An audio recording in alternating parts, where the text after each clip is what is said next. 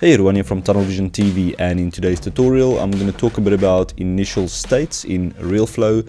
So first of all I'm using uh, RealFlow 2014 but you should be able to follow along if you're using any other or newer version of RealFlow.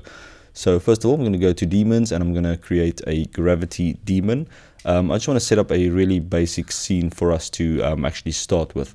And then I'm going to go to geometry and I'm going to click on cube and then press R on the keyboard. and I'm just going to resize this cube something like that. And then I'm going to duplicate it by pressing Command D on the keyboard. And I'm going to move this one down and forward. And I'm going to duplicate it again, move it down and forward. Uh, just so that we have something to work with like a basic staircase.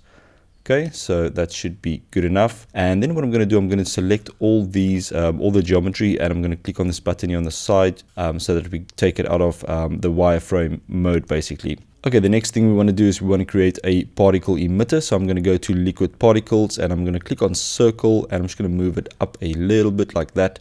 And then I'm going to go back to geometry and I'm going to create a cube with an open top move that up a bit and I'm going to scale it by pressing R and then just scaling it something like that. Maybe move it over to the side and then I'm going to move my particle emitter just to make sure that it's right above that cube. Okay, let's just move it over slightly Okay, so basically with initial state um, is you can save a state of a certain object or particle emitter and then when you reset your scene it will actually go back to that state. So let me show you how to actually use that. So I'm going to click on simulate and then you'll see that our particles will start flowing into the box and let's say that we only want to kind of fill up this box halfway that's when we will be using a, um, a state, okay, initial state.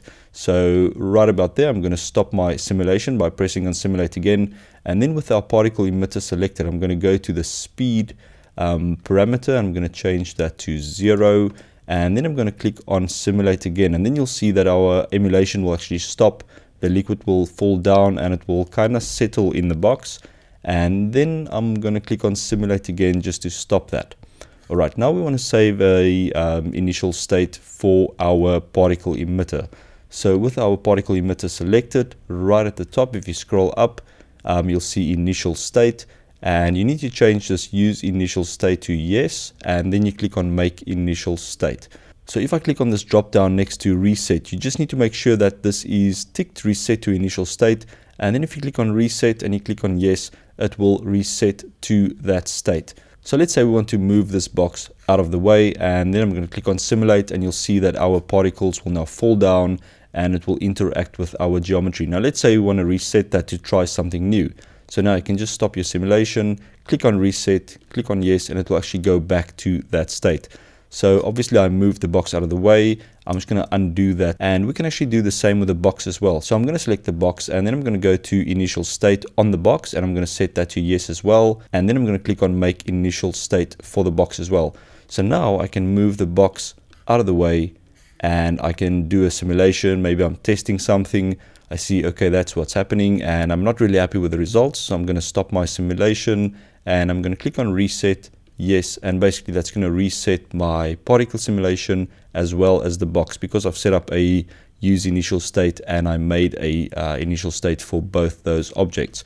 Cool, thanks a lot for watching and um, give me a thumbs up if you guys want to see more RealFlow tutorials on my channel and also remember to click on that subscribe button if you want to be notified of new weekly tutorials. Thanks a lot for watching and I'll see you guys next time. Cheers, bye.